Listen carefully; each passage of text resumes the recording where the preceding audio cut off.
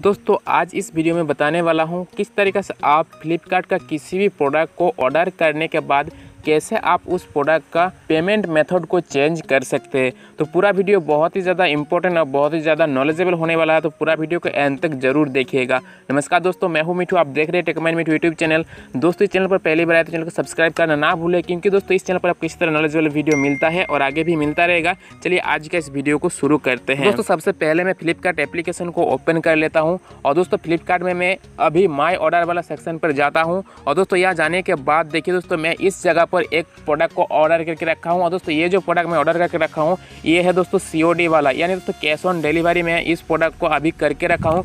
लेकिन दोस्तों, मैं चाहता हूँ कि अभी ये प्रोडक्ट का मैं जो पेमेंट मेथड इसको चेंज करना चाहता हूँ।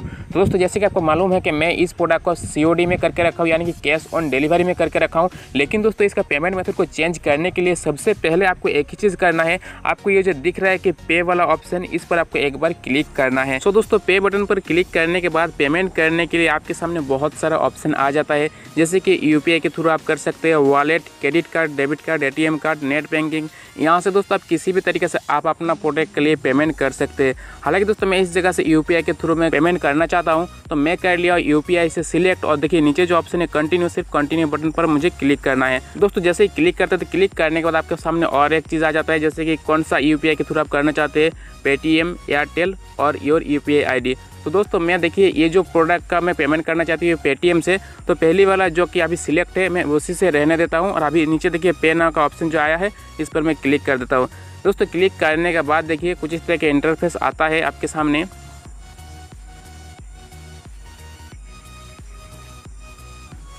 और दोस्तों, यहाँ पर आपका जो यू पी का जो कि फोर डिजिट का एक पिन है, वो आपको डालना होगा। तो सिंपली मैं फोर डिजिट का पिन इस जगह से डाल लिया हूँ।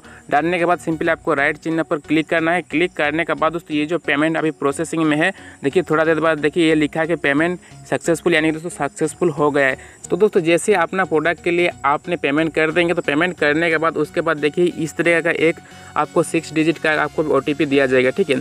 तो दोस्तों, मैं बता दूँ कि ये ओटीपी कब आपके काम में आएगा।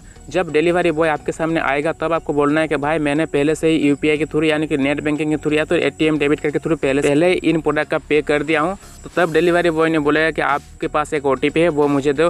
तभी आपको दोस्तों, ये जो ओटीपी है, ये आपको बोलना है, अपना जो डिलीवरी बॉय आएगा उसको।